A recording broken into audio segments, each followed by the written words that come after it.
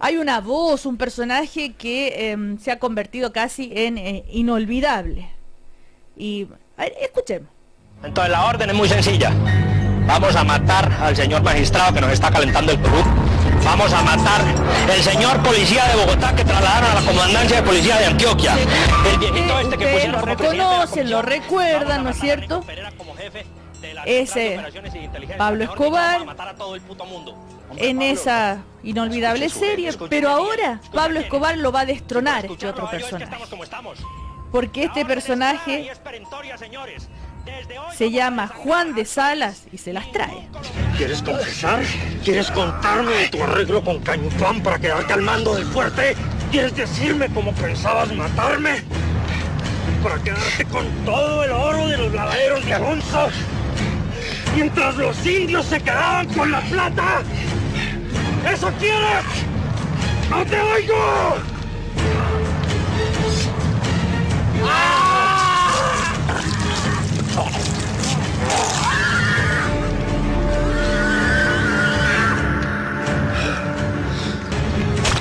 O sea, este sí que es malo, mucho más malo. Es un conquistador español bajo el mando de la corona que está a cargo del fuerte de Villarrica, que quedó sitiado por los indígenas. Esto es eh, el argumento eh, resumido ¿ah? de lo que se viene este domingo en TVN. Es eh, la serie entonces Sitiado. ¿Y quién es él? Andrés Parra, el gran actor colombiano. ¿Cómo estás, Andrés? Hola, muy buenos días. Buenos días, buenos días a todos los oyentes de Cooperativa. Muy feliz, muy contento de estar aquí esta mañana acompañándolos. Andrés, hasta tú te impresionaste de lo malo que es eh, Juan de Salas. Sí, Juan de Salas es de lo peorcito que yo he hecho. Sí, un poco. Esta serie eh, que comienza mañana se, eh, se enmarca en 1500...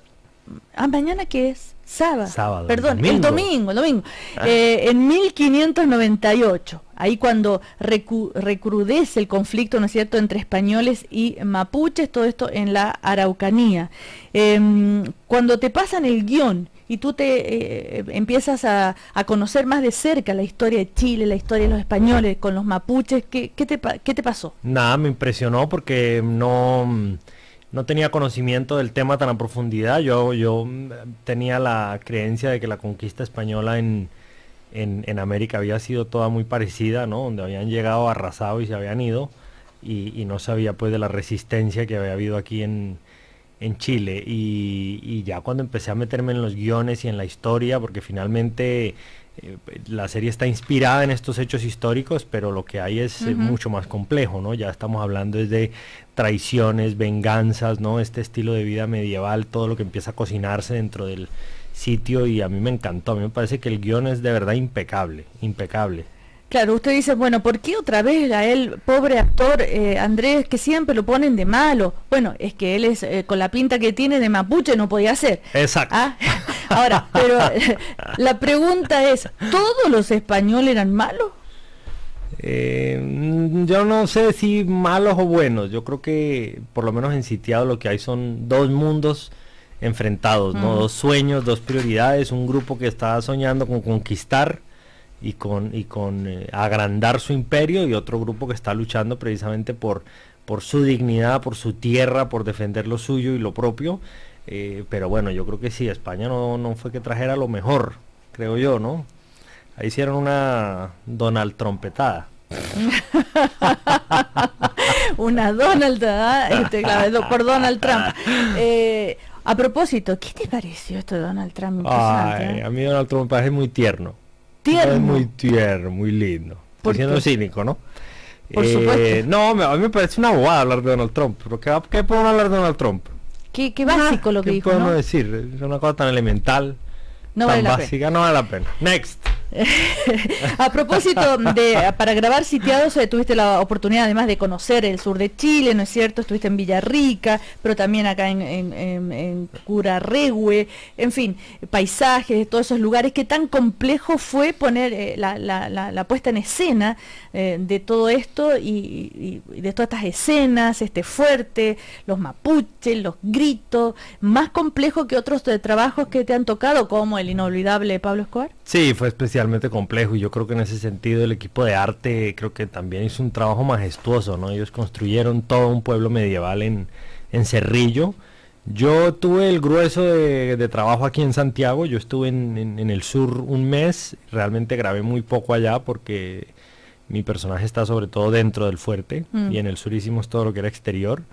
Y, me dediqué más como realmente a conocer el sur, ¿no? Traté, traté mucho de disfrutar de, del sur y, llegué muy contento. Yo tengo una relación con Chile muy especial. ¿Por qué? No sé, porque encuentro un país tan agradable para estar, para vivir, la gente.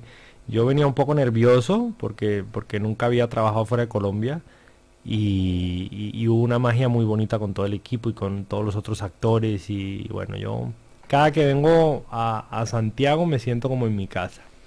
Este conquistador español, un tipo siniestro, malo, pero malo más malo que el natre, este, ¿ah? y, que obsesionado por la conquista, la, codicia. Pero a, quién responde él?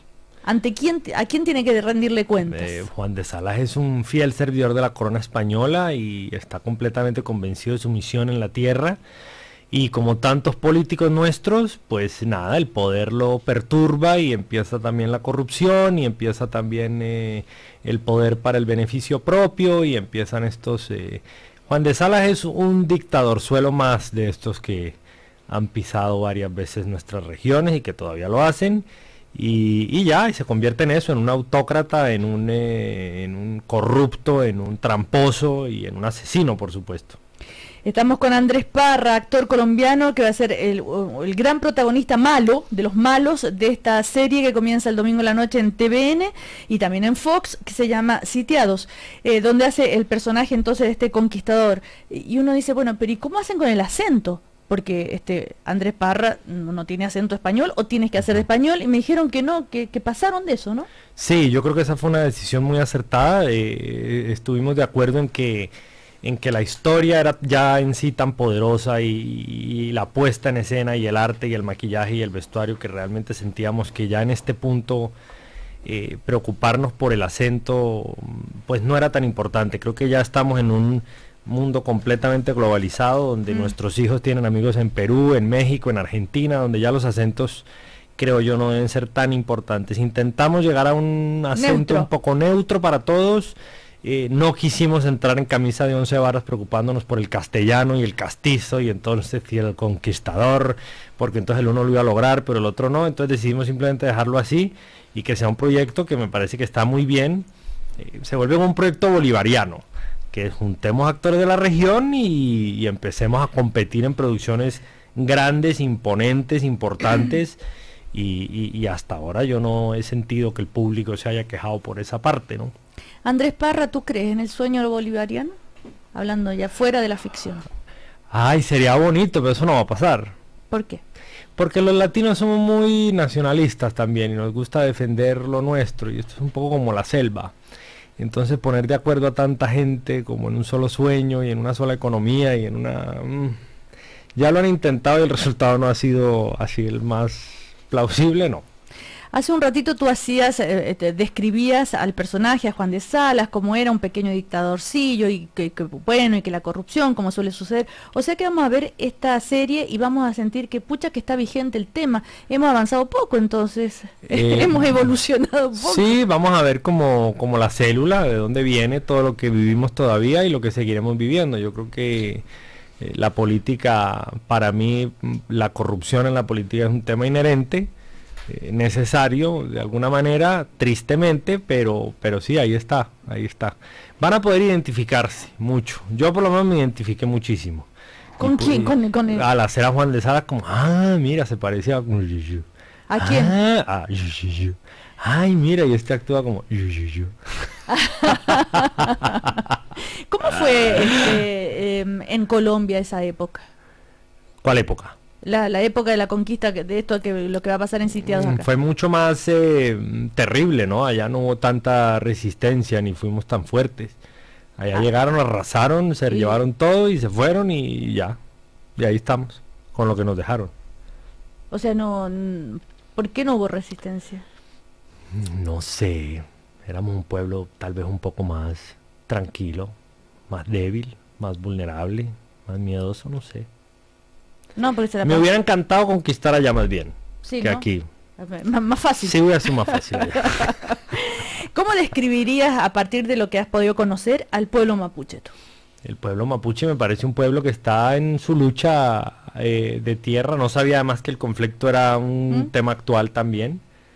Eh, y bueno, me parece que será un tema que, con el tiempo tendrá que resolverse, ¿no? De alguna manera. Es un tema complejo, delicado.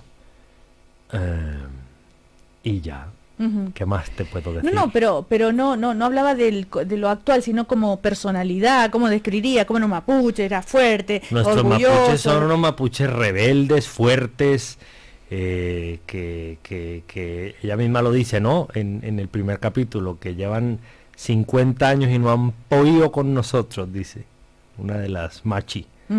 Eh, y para Juan de Salas, pues nada, son la piedra en el zapato de su conquista porque como te decía, pues eh, tiene que rendirle cuentas a la corona y no hay tributo suficiente, nunca me alcanzan los soldados, se me está muriendo la gente. ¿Y eh, no se enamora de una mapuche? Juan de mm. Salas. Mm. es un tema bien delicado.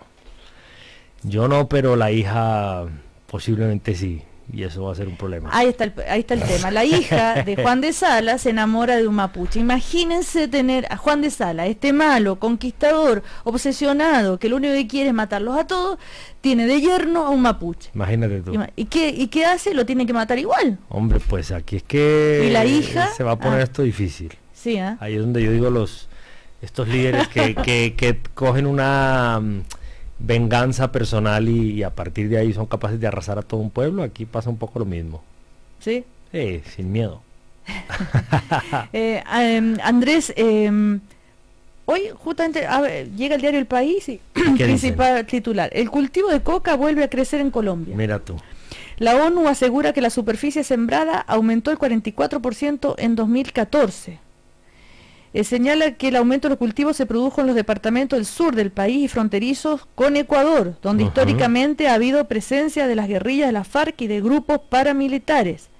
Naciones Unidas atribuye crecimiento ¿eh? al incremento del precio de la hoja de coca y a la falsa creencia de algunos campesinos de que tendrán más ayudas del gobierno si siembran más hectáreas. Ahí está. Lo que yo he dicho siempre, yo creo que la guerra contra las drogas es una guerra perdida y, y aquí seguiremos matándonos por culpa de eso. Pero está perdida. Ninguna sociedad ha sido capaz de superar sus vicios. Ninguna. Entonces, eh, con mucha tristeza, porque Colombia desafortunadamente sigue poniendo los muertos más no los consumidores. Y así seguiremos. ¿Y cuál es la solución? Yo creo que la legalización es la solución. La legalización, el control, la correcta distribución, dejar de ser tan hipócritas, dejar de tener esta falsa moral tan ridícula eh, y asumirlo como hemos asumido el alcohol, el tabaco y todo lo demás. Y eh, respecto a la, lucha entre el eh, gobierno colombiano y la FARC, más que lucha no, los acuerdos de paz, ¿en qué estamos? había buenas noticias, después se, paró el asunto, Ah, fueron criticados, dicen, no, ¿cómo van a, van a, negociar con ellos? Eso está muy lento. Lento. yo ¿ah? creo que los procesos de paz en general son muy lentos. Si uno hace un balance, un proceso de paz son 15, 10 años, el de Colombia lleva 3 años creo, eh, y se ha avanzado ya casi en un 60%. Tiene un poco polarizado al país, un poco dividido al país. Eh, nos, cuesta, eh, un proceso de paz implica un ejercicio de perdón muy profundo y es muy difícil a veces. Porque claro, si no has sido víctima directa, pues es muy fácil hablar de perdón, pero si de verdad has perdido eh, tu familia, tu tierra, todo, pues hablar de perdón ya es un poco más, más complicado. Hay una esperanza, por supuesto, y estamos convencidos de que de alguna manera la paz traería definitivamente muchos menos muertos que la guerra pero tiene que haber un ejercicio de perdón eh, que está muy difícil.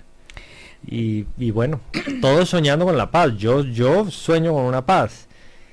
Claro, entonces aquí se habla de paz con impunidad, sin impunidad, que si cárcel, que tal. Yo siento que los procesos de paz, desafortunadamente, pues eh, ambos bandos tienen que hacer sacrificios y, mm.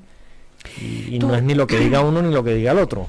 Este, Andrés Parra, en tu familia eh, han, sufrido de la violencia, víctimas o gente que ha estado en la, eh, en la, guerrilla o que han sido o han sufrido la represión, no sé. Todas las familias colombianas tienen a alguien que yo en particular, mi papá fue secuestrado, por ejemplo, hace como 20 años, como durante 5 días lo secuestraron. ¿Por, qué? Un secuestro económico, que es otra de las eh, formas que tienen las, las FARC, digamos, de, de, captar plata. Eh, cogen una, hay dos tipos de secuestro, el político y el económico. El político, pues bueno, es el político. Y el económico es simplemente secuestrar, pedir un rescate y con ese rescate pues comprar eh, armas, comida, lo que sea. Y en Colombia tú preguntas y todas las familias han tenido un muerto o un secuestrado, o, todos tenemos que ver con la guerra. Eso nos ha tocado a todos. ¿Tu padre fue secuestrado y sí que era millonario? No, ah. para nada. Porque te pueden secuestrar por... Por dos pesos. Bueno, te piden un millón de dólares y les dices tengo cinco mil, me sirve. Pues, ya, nos reímos ahora en realidad, pero no es para reírse. Eh, cinco días secuestrado. Eh, cinco días, sí. Y Yo estaba muy chico igual. Qué susto. No me acuerdo muy bien. Pero, pero después la, la historia la conociste. Sí, después la historia la conocí. Y viene, digamos, el post-secuestro, que también es muy duro, es muy difícil. La vuelta. Eh, él perdió en ese momento pues todos los ahorros de su de lo que tenía planeado para su vejez. Fue un tema delicado. Y bueno, digamos que la sacó muy barata en términos de ni lo torturaron ni lo nada. El, secuestro puede terminar muy mal, muy muy mal. Y hay gente que ha terminado muy mal. Nosotros salimos bien librados. ¿Y Andrés, eh, tú te cuidas? No. ¿Tienes guardaespaldas? No, no, no, no, no. No, en Colombia la guerra además está muy... sí, ya pasó la, etapa dura, pero... No, y, además está eh, muy sectorizada, está muy focalizada, exacto. No es como que en Bogotá los secuestros expresa allá eso no existe. Eso no, en Bogotá está la inseguridad normal de cualquier ciudad grande. Pero de escolta y eso, no. Qué aburrimiento. No hay con dos. Andrés eh, Parra, ¿tú puedes salir eh, tranquilo por las calles de Colombia? ¿O te paran todo el tiempo, autógrafo, que esto, que el otro, ya no? En Colombia hay una cosa muy chévere y es que los actores somos como lo más bajo de la cadena alimenticia allá. O sea, para que un actor una cámara lo siga, tiene que haber matado a alguien o haberse robado un banco. De resto, ¿Le importa a nadie le importa si uno llegó o no llegó, se fue o no se fue. Así que uno es un cristiano más que anda por la vida. A mí a nadie lo esperan en el aeropuerto. Hay que ser James o Shakira. De resto eres nadie. Eres un actor. O sea, ¿qué es eso? ¿Tú sabes que estamos viendo de nuevo el patrón del Mager por la red? Sí. Y, sí. no sabía. ¿Y te pagan la repetición? ¿Qué me van a pagar nada? Mala. Deberían. Deberían, ¿cierto? Claro. Hagamos un anuncio público. Ya. Por favor, la repetición. Por favor, señores. Por favor, señores de la red. De la red, paguen. Hablemos de fútbol. Bueno, yo no soy muy futbolero. No, pero, voy a tratar de hablar. Soy colombiano y me embarga una profunda tristeza de que nos hayamos ido de la Copa. Sí, me imagino. Sí, claro. ¿Y cómo se fueron? ¿Con honores, según tú? Nos fuimos... Pasó algo muy bonito y es que es la primera vez, siento yo, que como hinchas nos fuimos igual apoyando todavía a la selección. Solíamos antes del Mundial o, a la gloria o al infierno. ¿Sí? O los amábamos o los odiábamos. Y, esta vez siento yo en la gente que, ha habido como, como una actitud mucho más positiva, mucho más humana con ellos, mucho más, no importa, no todo se puede ganar, vamos para adelante y estamos igual muy orgullosos, porque sí nos dieron mucha alegría en el Mundial y eso no se nos olvida. Mm. Eso es bonito. Y Andrés, eh, ¿pero tú ves los partidos? Claro, eso sí. ¿Todos o solo los de Colombia? No, sí, me, me preocupo por los de Colombia especialmente, pero si llego a casa y están jugando, no sé, Chile, Paraguay, lo que sea, lo veo, claro, lo veo. ¿Y de las selecciones de esta Copa América, cuál te ha gustado más, aparte de Colombia? Hablemos de esa final, ¿no? ¿Qué va a pasar el domingo? Ay, mañana, el sábado, ¿qué va a mañana, ¿Qué va a pasar mañana? No sé, dilo Qué miedo. Pues yo es que ahí tengo un conflicto porque porque a mí me caen muy bien los dos países he estado mucho más aquí en Chile, ¿no? Y estoy aquí en Chile, así que creo que me va a tocar ir por Chile. Ojalá ganara Chile. Sí. Rico que gane Chile y uno estar aquí y uno después ir a Plaza Francia, ah, Plaza, Italia. a ver el gentío. Eh, en todo caso, em, eh, Andrés, tú, pero la, selección que más te haya gustado. La selección que más me ha gustado a mí hasta ahora, A mí, a mí me ha gustado, bueno, pero lo voy a decir, no me importa. A mí me gustó mucho el partido de Colombia con Argentina y, y vi a una Argentina muy fuerte. Y tengo muchas ganas de ver qué Argentina va a salir mañana. Mm. Y espero que mañana no se vayan a los puños. No. No. Que sea un partido bonito, que haya un fútbol bonito. Bueno, y después de ver la gran final, el sábado vamos a estar cansados, nos vamos a acostar en la cama y nos vamos a poner a ver sitiados. Y ahí nos vamos a entretener, nos vamos a apasionar con este el domingo. ¿Pero qué dije? Mañana vamos a ver el partido. Y el domingo. el domingo, al otro día, vamos a dormir. Y, vamos a echarnos a la cama. Y, vamos a ver sitiado. Eso dije. ¿ah? Eso no fue lo que dijo. Claro. ya. ya vamos a ver sitiado con este señor tan malo, más malo que no sé qué. Este. André. Eh, no, es Juan de Salas. Juan de Salas. Juan de Salas. ¿ah? el conquistador eh, terrible. ¿Qué usa para torturar eh, Juan de Sala? Yo una hoz. Yo voy directamente al cuello, yo no pierdo el tiempo. Bueno, yo no, él. una hoz, pero no una hoz y el martillo. No, una hoz. la hoz. Con la hojita de la hoz. Pero igual, lo que haya, puntillas, martillos, lo que tengamos a mano. Ya, gracias Andrés Parra, que te vaya súper bien. A ustedes muchas gracias por la invitación, fui muy feliz. Chao. Chao.